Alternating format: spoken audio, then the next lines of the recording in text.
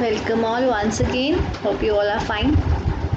So, uh, today we are going to start with the topic that is principles of scientific management. These principles are given by F.W. Taylor. In the previous lecture, we have covered the topic of principles of management, uh, and uh, those principles were given by Fayol. So, in this uh, video, we are going to cover the principles given by F.W. Taylor. So, let's start. Look, F W Taylor ने basically four principles दिए थे and basically ये principles को scientific principles of scientific management बोला जाता है क्योंकि इसमें साइंटिफिकली प्रूफ जिसको हम बोल सकते हैं, वो चीज़ों को यूज़ किया गया। दैट मीन्स जब जब टेलर ने ये प्रिंसिपल्स को दिया तो उन्होंने बहुत रिसर्च करके मतलब उन चीज़ों को अप्लाई करके देखा कि एक्चुअली में ये प्रिंसिपल्स को अप्लाई करने से रिज़ल्ट अच्छा आता है रिज़ल्ट प्रॉपर आता है। तो फिर जब वो प्रिंसिपल्स प्रूव हो गए, तब उन्होंने ये प्रिंसिपल्स को दिया। तो इनके जो फोर प्रिंसिपल्स हैं, वो कौन कौन से हैं? फ़र्स्ट प्रिंसिपल देखो science not the rule of thumb मतलब ये क्या बोलते हैं कि रूल ऑफ़ थम को मत अप्लाई करो। मतलब जिसने जो बोल दिया, वैसे ही हमने मान लिया, वैसे ही हम करने लगे, वैसा मत करो।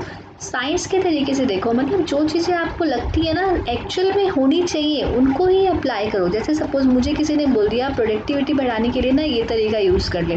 मैंने उसकी बात को मान लिया और वैसा तरीका यूज़ करना स्टार्ट कर दिया। फिर किसी और ने बोल दिया अच्छा इससे इम्प्रूव नहीं हुआ था तो एक काम कर, ये करना स्टार्ट कर दे, इससे इम्प्रूव हो जाएगा। मैंने वो करना स्टार्ट कर दिया। फिर किसी और ने मुझे बोला अच्छा उससे नहीं हुआ था तो तुम ये करना स्टार्ट कर दो, इससे हो जाएगा। दैट मीन्स मैं लोगों के, जो मुझे बोल रहा है, कोई मैं उसको फॉलो करे जा रही हूँ। इसको बोलते हैं रूल ऑफ़ थम हमें रूल ऑफ़ थम को फॉलो नहीं करना है, बल्कि हमें साइंस को फॉलो करना है। मतलब कॉज एंड अफेक्ट रिलेशनशिप को देखना है। इसको करने से अफेक्ट क्या आएगा? इसको करने से क्या रिज़ल्ट आ सकता है? उन सब चीज़ों को सोच के, उन सब चीज़ों को देख के प्रॉपर तरीके से उनका एक कंक्लूजन निकाल के फिर ही हमें उन चीज़ों को अप्लाई करना नहीं तो ऐसे ही किसी भी चीज़ को अप्लाई नहीं करना।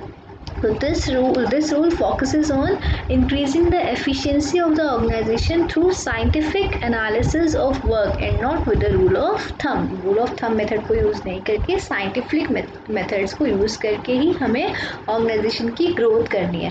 Fine Uh, this principle should be based on scientific analysis and cause and effect relationship rather than rule of thumb. Cause and effect को देखो कि इसको करने से क्या कॉज और क्या होगा क्या अफेक्ट आ सकता है क्या इसका आउटकम आ सकता है वो सब चीज़ों को देखने के बाद ही हमें कोई भी डिसीज़न लेना है। सिर्फ़ पर्सनल जजमेंट के बेसिस पे कोई भी डिसीज़न को ले लेना चाहिए। ये मेरी पर्सनल जजमेंट है ऐसा करने से ऐसा हो जाएगा। है ना? तो पर्सनल जजमेंट्स को कंसीडर नहीं करना है रेदर कि हमें साइंटिफिकली प्रॉपर तरीके से एनालिसिस के बाद ही किसी चीज़ को अप्लाई करना है। जब तक उस चीज़ का कोई एनालिसिस नहीं हो जाता है, तब तक हम उसको अप्लाई नहीं करेंगे। तो इसको बोलते हैं science not the rule of thumb thumb rule को अप्लाई नहीं करना है, बल्कि साइंटिफिकली जो आपको लगता है कि जो चीज़ें अफेक्टिव होंगी, या जिन, जिनको कॉज एंड अफेक्ट रिलेशनशिप आपने देखा है, उन्हीं को ही हम अप्लाई करेंगे।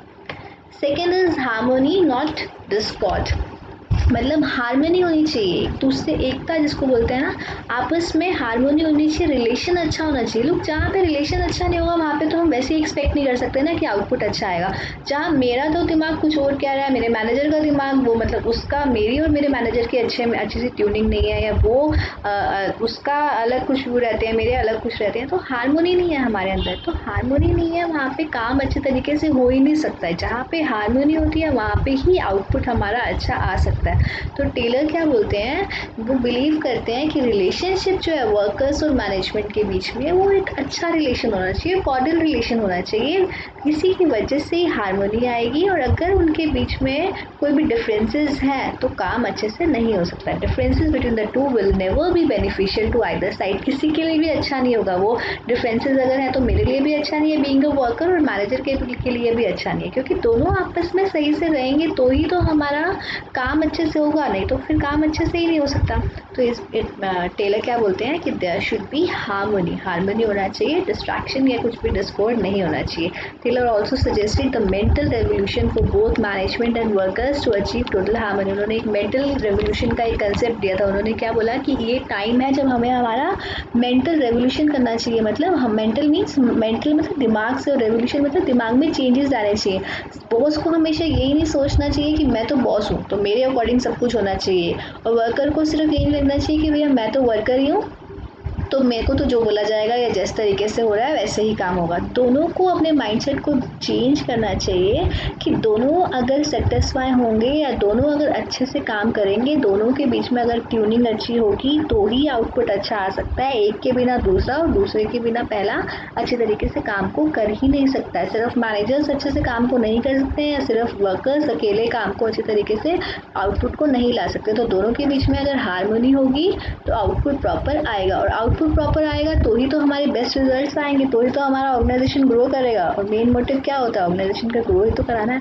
सो दिस इज़ कि there should be harmony between them now move to the third principle that is corporation not individualism ये इसी का ही सेकेंड प्रिंसिपल का ही थोड़ा एक्सटेंशन है ये क्या बोलता है कॉपरेशन होना चाहिए कॉपरेट करना चाहिए, एक दूसरे को सिर्फ़ अपना इंडिविजुअली नहीं सोचना चाहिए। तो उसमें कैसे था हारमोनी होना चाहिए थर्ड बोलता है कॉपरेशन होना चाहिए। आपस में कॉपरेट करो, जब तक एक दूसरे को कॉपरेट नहीं करोगे, तब तक भी आपका जो रिज़ल्ट है वो अच्छे तरीके से नहीं आ सकता। They believe in mutual collaboration between workers and the management managers and workers should have mutual cooperation and confidence confidence दोनों के, दोनों को एक दूसरे पर कॉन्फिडेंस होना चाहिए, दोनों के बीच में म्यूचुअली कॉपरेशन होना चाहिए। मुझे तुम्हारी ज़रूरत है तो तुम मुझे सपोर्ट करो, जहाँ तुम्हें मेरी ज़रूरत है तो मैं तुम्हें सपोर्ट करूँ। That means there should be a feeling of cooperation between them अगर मैं इंडिविजुअली अपना अपना सोचती रहूँगी या मैनेजर अपना अपना सोचता रहेगा तो भी काम अच्छे तरीके से नहीं हो सकता। जैसे बोलते हैं ना कि एक फैमिली की तरह रहना है, वो एक फैमिली की तरह उनके अंदर एक फीलिंग होनी चाहिए। अगर मैं बोलूँ कि मैं तो यहाँ पे सिर्फ़ एक,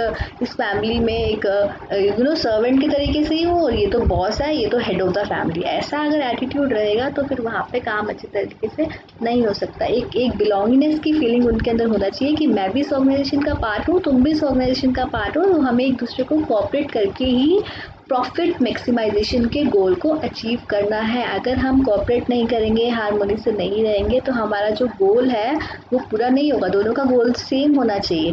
मेरा गोल तुम्हारा गोल सेम होगा, तभी हम ऑर्गेनाइजेशन में हंड्रेड परसेंट आउटपुट ला सकते हैं, हमारा ऑर्गेनाइजेशन ग्रो कर सकता है। अगर हम अपने अपने, सब अपने अपने गोल बना लेंगे तो इससे क्या होगा कि सब अपने अपने गोल को ही सोचते रह जाएँगे और ऑर्गेनाइजेशन के गोल को अचीव नहीं कर पाएँगे।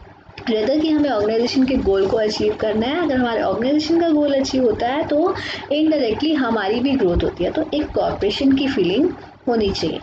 Move to the fourth principle that is development of every person to his greatest efficiency no जब तक मेरे अंदर, मेरी डेवलपमेंट या मैं बोलूँ, मेरे अंदर स्किल्स नहीं होंगी, तब तक मैं काम को अच्छे तरीके से नहीं कर पाऊँगी। तो टेलर बोलते हैं कि ऑर्गेनाइजेशन में जो लोग काम कर रहे हैं ना, उनको ट्रेनिंग दो, उनको गाइड करो, उनकी स्किल्स को एनहांस करने की कोशिश करो, उनकी स्किल्स को, उनकी एबिलिटीज़ को बढ़ाओ।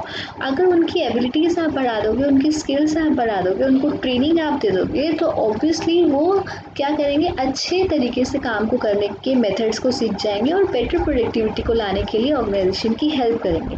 The effectiveness of the company also relies on the ability and skills of its employees जहाँ के जहाँ के एम्प्लॉयज़ अच्छे हैं, वहाँ पे वहाँ पे क्या होता है, जहाँ पे स्किल्ड एम्प्लॉयज़ होते हैं, वहाँ पे ऑर्गेनाइजेशन भी ग्रो करता ही है। तो किसी भी कंपनी की जो एफिशिएंसी है, वो उसके एम्प्लॉयज़ के ऊपर होते हैं। जितने स्किल्ड एम्प्लॉयज़ हैं, जितने ट्रेंड एम्प्लॉयज़ हैं, उतना ही ऑर्गेनाइजेशन ग्रो करता है। तो इसलिए वहाँ पे प्रॉपर उनको ट्रेनिंग देना चाहिए उनको बेस्ट प्रैक्टिस सिखाओ बेस्ट टेक्नोलॉजी उनको सिखाओ ताकि वो एम्प्लॉयज़ जो हैं उनकी जो स्किल्स हैं वो ब्रशअप हो सके वो इम्प्रूव हो सके और उनकी स्किल्स जब इम्प्रूव हो जाएँगी तो ऑब्वियसली हमारी प्रोडक्टिविटी भी इम्प्रूव हो जाएगी और हमारा ऑर्गेनाइजेशन ग्रो कर पाएगा। सो so, ये जो बेसिक जो फोर प्रिंसिपल्स हैं ये बहुत यू टेलर ने जो दिए थे ये बहुत प्रैक्टिकली प्रूवन प्रिंसिपल्स हैं तो ये प्रिंसिपल्स एग्ज़ाम व्यू पॉइंट से भी बहुत इंपॉर्टेंट रहते हैं, इसलिए इनको अच्छे से कर, पढ़ लेना, कुछ भी डाउट आते हैं तो let me know and will clear the doubts okay thank you for listening